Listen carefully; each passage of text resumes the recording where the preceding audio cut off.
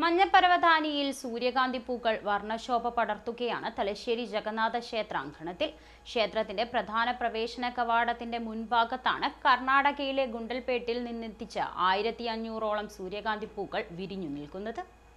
കണ്ണെത്താ ദൂരത്തോളം മഞ്ഞപ്പട്ടു വിരിച്ച് സൂര്യകാന്തി പൂക്കൾ നിറഞ്ഞു നിൽക്കുന്നത് ഇമജിമാതെ നോക്കി നിൽക്കാൻ കൊതിക്കുന്ന നമുക്ക് മുന്നിലാണ്. സൂര്യകാന്തി പൂക്കളുടെ മഹാപ്രഭ ഒരുക്കി തലശ്ശേരി ജഗന്നാഥ ക്ഷേത്രാങ്കണം മാടി വിളിക്കുന്നത്. ക്ഷേത്രത്തിന്റെ പ്രധാന പ്രവേശന കവാടത്തിന്റെ മുൻഭാഗത്താണ് കർണാടകത്തിലെ ഗുണ്ടൽപേട്ടിൽ നിന്നെത്തിച്ച ആയിരത്തി അഞ്ഞൂറോളം സൂര്യകാന്തി പൂക്കൾ വിരിഞ്ഞു നിൽക്കുന്നത്. ക്ഷേത്രത്തിന് ചുറ്റുമുള്ള വിവിധ പൂച്ചെടികളും സസ്യങ്ങളും തീർത്ഥാടകരുടെ മനസ്സും കണ്ണും കുളിർപ്പിക്കുന്ന കാഴ്ചയുടെ വിരുന്നൊരുക്കുകയാണ് ആയിരത്തി അഞ്ഞൂറ് ചെണ്ടുമല്ലി ചെടികളും വിരിയാൻ ഒരുങ്ങി നിൽക്കുന്നുണ്ട്. സുഗന്ധം പരത്തി മുല്ലപ്പൂക്കളുമുണ്ട്. നാഗലിംഗ മരത്തിലെ പൂക്കളും അരളി ചെത്തി മല്ലിക ശംഖുപുഷ്പം എന്നിവയും ഉദ്യാനത്തിന് ശോഭയേക്കുന്നു ക്ഷേത്രകുളത്തിന്റെ ശീതളിമയിൽ ഗുരുവിന്റെ പഞ്ചലോഹ പ്രതിമയുടെ ഇരുഭാഗങ്ങളിലും വെള്ളയും ചുവപ്പും താമരകളും വിരിഞ്ഞു നിൽക്കുന്നുണ്ട്. ക്ഷേത്രത്തിലെ ആവശ്യങ്ങൾക്കുള്ള പൂജാ പുഷ്പങ്ങളും കറുകയുമൊക്കെ ഇവിടെ നട്ടുവളർത്തുന്നുമുണ്ട്. Jnanodayam president advocate K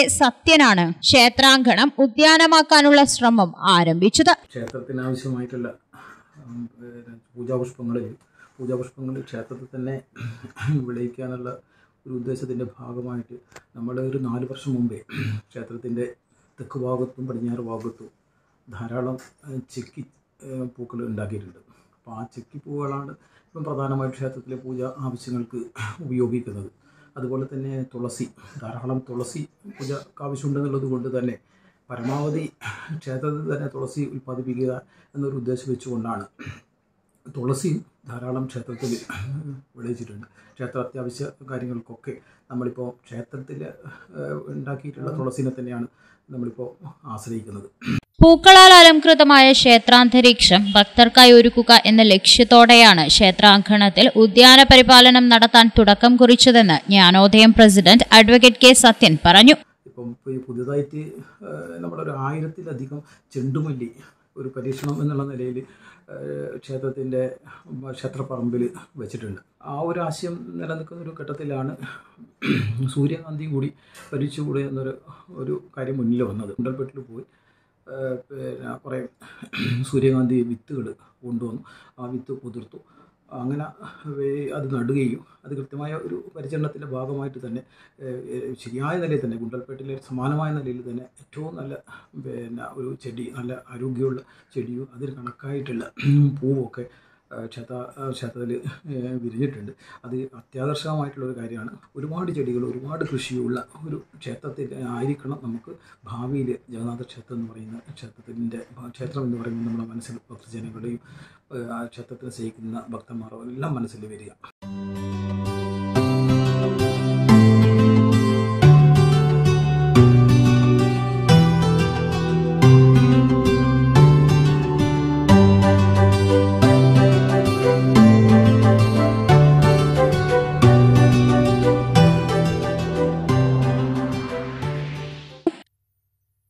Karnataka സ്വദേശിയായ എം ശിവയെ പൂന്തോട്ടം പരിപാലിക്കാൻ ചുമതലപ്പെടുത്തിയിട്ടുണ്ട്. കാലാവസ്ഥ അനുകൂലമാകുമെങ്കിൽ വിത്തിട്ട് മൂന്ന് മാസമാകുമ്പോഴേക്കും മനോഹരമായ സൂര്യകാന്തി പുഷ്പമാക്കുമെന്ന് ശിവ പറഞ്ഞു. ഇത് മൂന്ന് മാസം കൊണ്ട് വിത്ത പൂവാകും.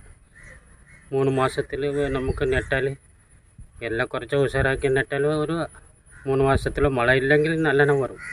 വെള്ളം നിന്നാൽ കുറച്ച് ബുദ്ധിമുട്ടാണ് മൂന്ന് മാസത്തുള്ളിൽ ആർക്കും നടാ പ്രശ്നമില്ല